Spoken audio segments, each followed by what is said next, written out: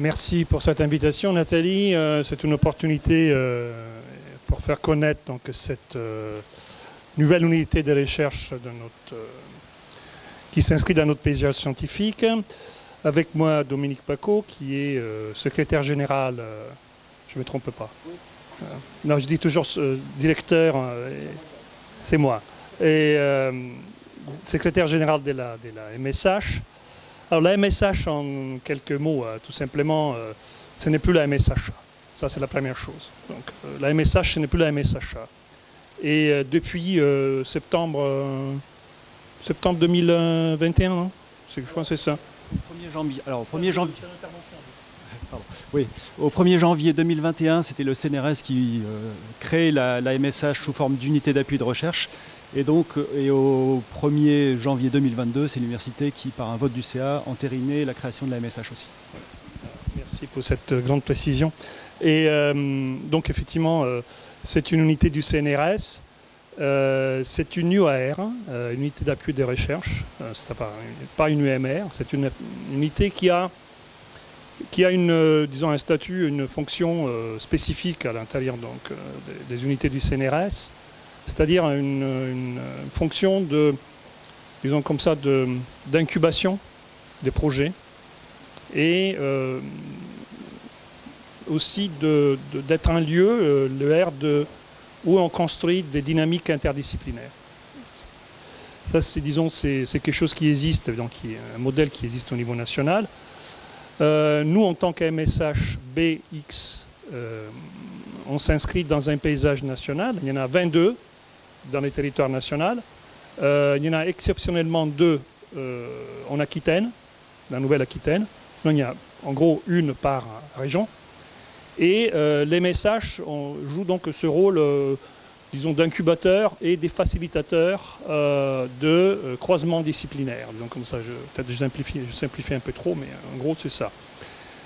Qu'est-ce que ça veut dire incubateur? Ça veut dire que dans le contexte actuel de la recherche, qui est de plus en plus sollicité par des appels à projets, euh, disons, on est de, plus en plus dans cette perspective donc de,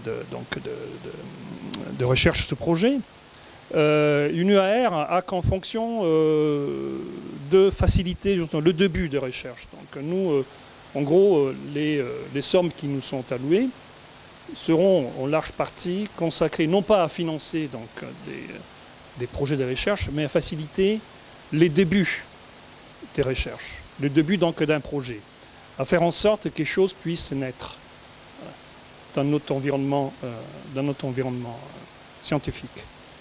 Alors l'environnement scientifique de la MSH euh, Bordeaux est large parce que l'un des buts donc de cette maison est rien de moins que de parvenir à une tâche titanesque c'est-à-dire donc fédérer les, SHS, disons SHS au sens large. Pour moi, sciences humaines, il y a aussi évidemment les lettres hein, et, tout ce qui est humain, quoi. Et euh, au niveau du site.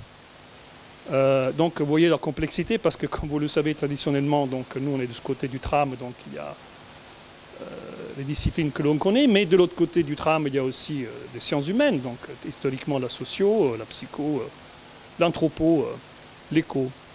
Et, tout ça, donc, il faudrait faire en sorte, euh, au-delà donc, de l'histoire complexe de ce site, que ces disciplines un jour puissent arriver donc, à se parler et à construire des objets communs.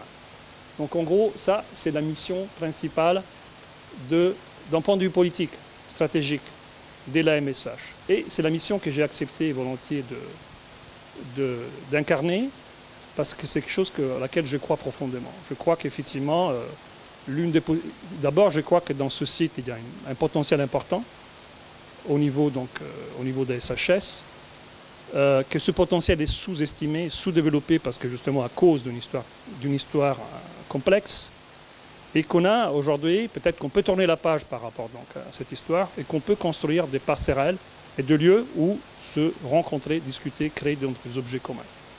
Donc ça, c'est la mission de la MSH que j'ai l'honneur donc de, porter depuis le, 1er janvier euh, avec l'équipe qui est là, que je salue, donc, euh, et aussi des animateurs, bonjour à tout le monde, qui sont des animateurs d'Axe. Alors, le projet scientifique, alors je, vais vite, hein, je vais pas. Oui, non, non, je ne suis pas. Bon, peut-être je. Je m'en fiche un peu. Euh, ouais, notre Dominique, il est un peu embêté avec moi parce que je respecte jamais le programme. en gros, donc, je sais pas. Ouais, les axes. Donc, en gros, alors, alors la, la, Maison des sciences de l'homme est structurée sur un projet scientifique qui a été conçu euh, entre 2019 et 2020 par euh, deux chercheurs, un chercheur du CNRS, qui est Ricardo Etchepar, et un chercheur de l'UB, qui est Sébastien Yves Laurent, qui est historien. Alors, ce projet a été accepté, donc il y a une longue histoire donc, des navettes entre le CNRS, les tutelles. Les tutelles, je voulais dire une chose importante, que l'UAR euh, n'est pas une unité du BEM ou que du BEM, c'est une unité sous triple tutelle pour l'instant, c'est-à-dire UBEM, Université Bordeaux et CNRS. Donc c'est quelque chose qui va au-delà donc, du périmètre euh, de, notre université. Donc je disais que le, programme scientifique euh, euh, de la MSH a été approuvé par les tutelles et c'est un projet scientifique qui est, comment vous dire, donc, fortement structuré autour de la question, de la question des langues. C'est un choix qui a été fait, que, dont j'ai hérité, donc que j'essaie de porter. Les deux premiers axes de, cette, de, cette, de ce projet scientifique portent donc sur la. qui s'intitule qui s'intitule Territoire plurilingue, société inclusive, humanité évolutive. Les deux premiers axes portent sur des questions euh, au sens large de euh, langue, des dynamiques linguistiques, des dynamiques d'hybridation de, culturelle, liées toujours dans la question donc la langue comme vecteur euh, donc de, connaissances, mais aussi vecteur d'hybridation culturelle. Euh, le troisième axe est un axe qui est différent des autres, a été une volonté aussi de la part de Ricardo. Je vois ici donc il y a Nathalie Pined euh, qui anime cet axe et Cédric Brun qui sont là. Ils pourraient parler mieux moi que, de cet axe, mais c'est un axe en gros qui porte sur l'humanité et sur les humanités, l'humanité au sens de l'humanité au sens évolutif, donc une réflexion sur l'humanité euh, qui se fonde sur des, euh, sur des excellences locaux, hein, locales, donc, euh, comme on sait bien donc l'importance des études archéologiques et paléanthropologiques dans notre site, de deux côtés du tram justement, et aussi sur une réflexion, je me trompe, tu me corriges Cédric ou Nathalie, donc une réflexion sur les humanités en tant que domaine disciplinaire, en, donc, tant que voilà, euh, donc une dimension épistémologique aussi qui, est présente donc dans cet axe que l'on souhaite développer.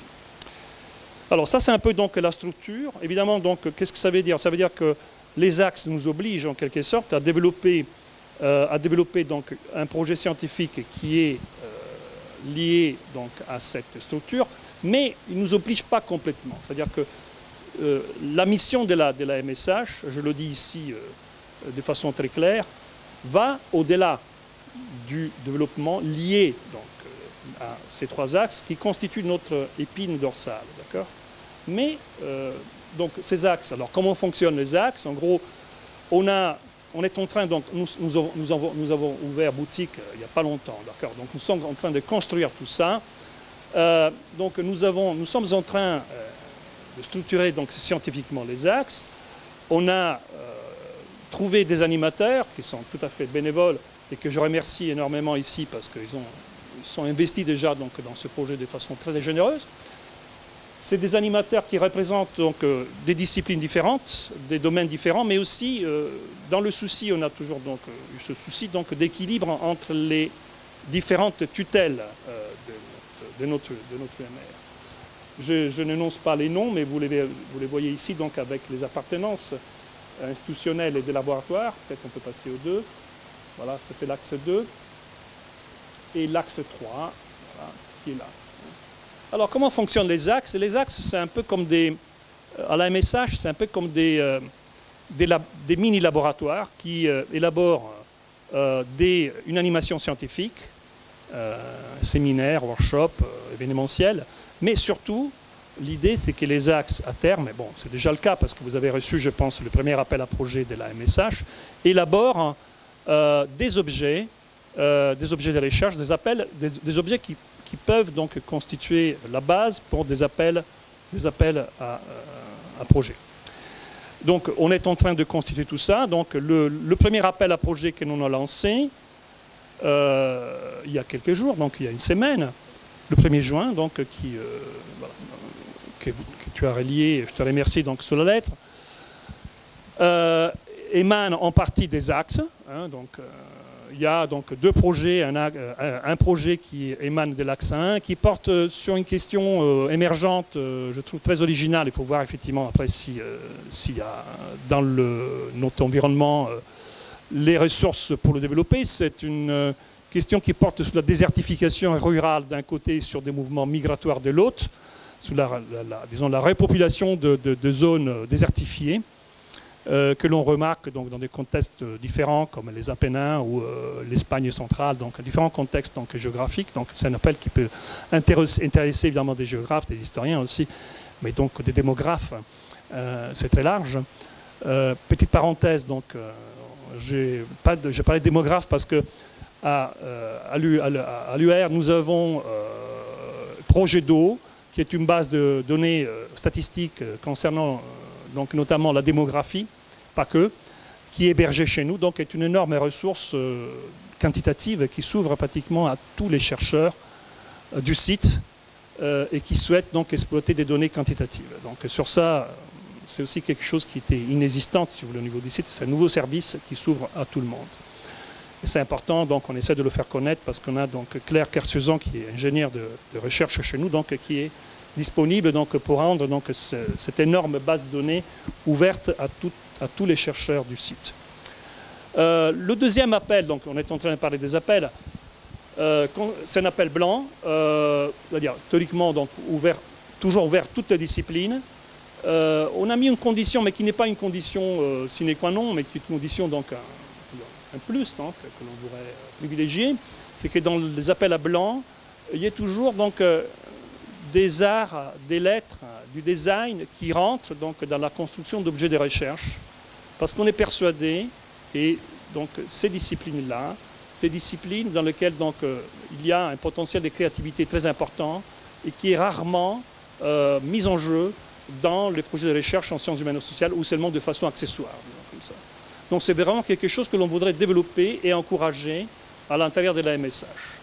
Et on sait qu'ici à Bordeaux-Montagne, évidemment, il y a un potentiel important de ce point de vue. Troisième appel à projet, c'est un appel qui s'adresse donc à une population de jeunes chercheurs. Euh, jeunes, c'est un concept très large, n'est-ce pas? Donc on est tous jeunes, bien sûr. Mais jeunes pour nous, c'est les, docteurs, euh, les, les, jeunes docteurs, 4 ans, après soutenance, d'accord? Et euh, les jeunes HDR. Et on sait que c'est des moments, des moments donc, euh, notamment les jeunes docteurs, des moments critiques, souvent pour leur carrière.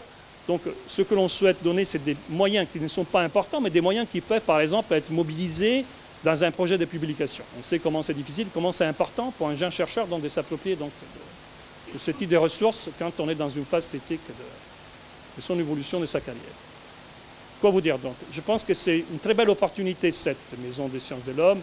Moi, je ne souhaite que de voir donc, euh, que des projets, que des collègues qui viennent nous voir, parce que vraiment, c'est quelque chose dont il faut saisir. Il faut vraiment se saisir parce que, disons, il n'y a pas contre-indication, n'est-ce pas? Ni effet collatéraux. Aucun. On verra. Mais vraiment, je pense que c'est une très belle opportunité et je vous invite donc à venir, à vous saisir de ces projets. Cet appel à projet est un appel à projet euh, qui a été lancé, disons, dans l'urgence, hein, parce qu'on avait évidemment encore des, un budget pour l'année. Euh, on a des temps réduits, des sommes qui sont réduites, qui ne sont pas importantes, mais qui peuvent donc servir à amorcer quelque chose. Et ça, je pense que c'est très important. Donc, euh, je vous invite vraiment à, euh, à, vous saisir de cette possibilité. Au-delà de ça, la MSH, telle qu'on la conçoit, nous, est aussi un lieu qui devrait permettre une connaissance des enjeux sociétaux, politiques sociétaux, des sciences humaines euh, et sociales euh, humaines, aujourd'hui, donc non seulement en France, mais dans le monde entier. Donc c'est un lieu où on souhaiterait par exemple accueillir donc, des grandes conférences, par exemple, je sais pas, sous forme de jeudi ou de vendredi de la MSH, dans lesquelles donc, on pourrait voilà, donc, discuter donc, avec un public plus large, qui est ce, le, public universitaire, les grands enjeux aujourd'hui donc, de la recherche euh, dans les disciplines qui nous, qui nous tiennent à cœur. Euh, je ne sais pas si j'ai oublié des choses. Sûrement. Je n'ai sûrement pas respecté donc le. Ça, c'est sûr. Ben voilà. donc, euh, si vous avez des questions, donc on est là. Dominique, je ne vous ai pas donné la parole, excusez-moi. Non, pas grand-chose. Euh, juste une chose pour l'appel à projet. Donc, effectivement, on l'a lancé, je dirais, hors euh, timing normal. Euh, c'est ouvert au 1er juin, c'est clos le 30 juin. Ça veut dire qu'il faut faire très vite. En même temps, on essaie de faire relativement simple. Le but étant que notre conseil scientifique puisse statuer sur les propositions qui seront remontées euh, avant l'été et au plus tard, en tout cas en septembre, si on n'y arrivait pas.